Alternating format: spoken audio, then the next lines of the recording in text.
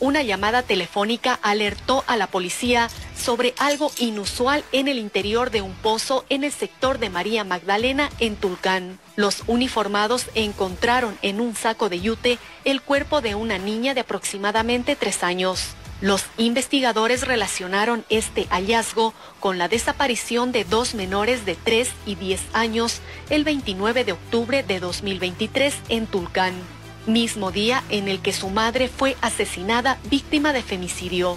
50 policías y 6 bomberos emprendieron la búsqueda entonces de la otra niña desaparecida. Inspeccionaron un segundo pozo. Este tenía 20 metros. Luego de cuatro horas localizaron en el fondo su cadáver. Era demasiado angosto, por lo que era casi imposible que ingrese una persona, por lo que utilizamos unos pescantes a, través de cuerdas y varillas para poder extraer el cuerpo.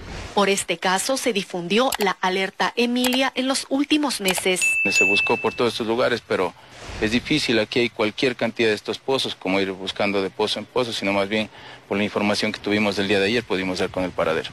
El padre de las niñas reconoció que se trata de sus hijas porque llevaban la vestimenta que usaban el día de su desaparición. Esto es algo bien, bien duro, bien doloroso. Esto quisiera que se haga justicia y se llegue a fondo. El sospechoso del crimen es la expareja de la madre de las niñas, quien consta en la lista de los más buscados por violencia de género en Ecuador. En tanto, la Interpol emitió difusión roja que alerta a otros países de su peligrosidad.